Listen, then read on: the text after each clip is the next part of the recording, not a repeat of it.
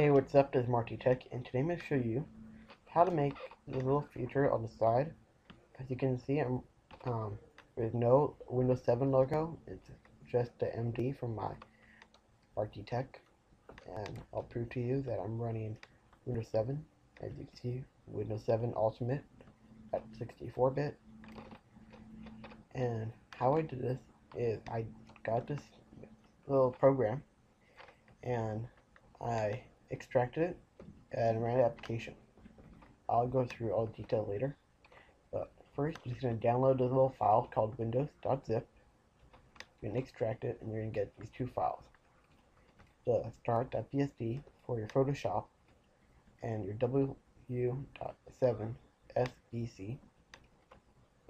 And you're just going to open. You're going to open your start.psd file.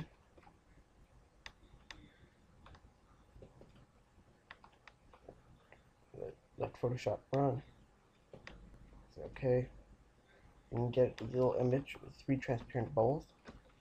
What you're going to do is going to fill in with your image three times. So I'm going to take my logo right here. Say Control A, Control C.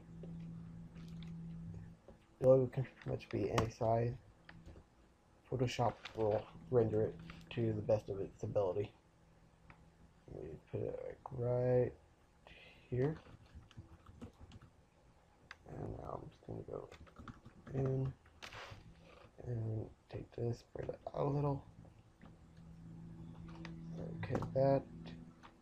You can see Control A, Control C, Control V, and V again. There you have it. Now I just take one layer, get your pointer tool, take one layer, go down, cover it up all the white. Same thing to cover up all the white. Take your your middle layer, the middle logo, and make outer glow. The color you want, I want red. Okay.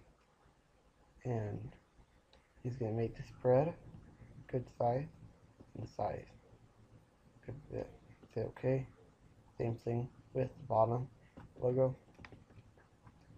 Take your outer glow take your negative color. I'm to choose red. Okay.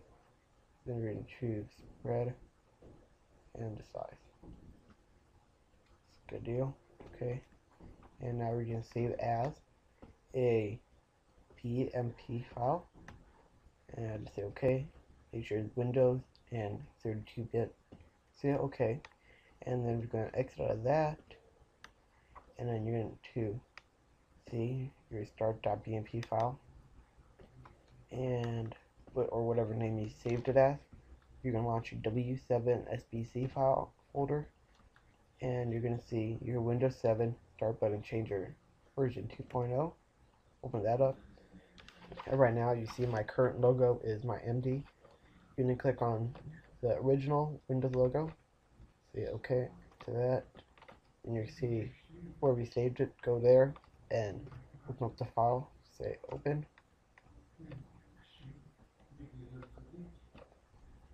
And there it is. There is your logo. Open it up and you can see it, it works. Like I said it would. And if you want to restore it to the original, just click on the restore little folder and it's back to normal. See? That's simple. And that's it. Link is in the description to download this folder right here, windows.zip. And go to my site, markdtech.tk for more information. And follow me, twitter.com forward slash martygraka. Subscribe up on top. And rate like this video. Okay, that's it. Uh, check back in for more videos.